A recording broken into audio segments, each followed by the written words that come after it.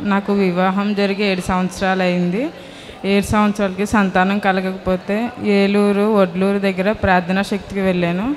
పదకొండు వారాలు వెళ్ళానండి. గర్భఫలం వచ్చింది. బాబు పుట్టాడు. ఈ చిన్న సాక్ష్యాన్ని దేవుడు దీవించింది కాక.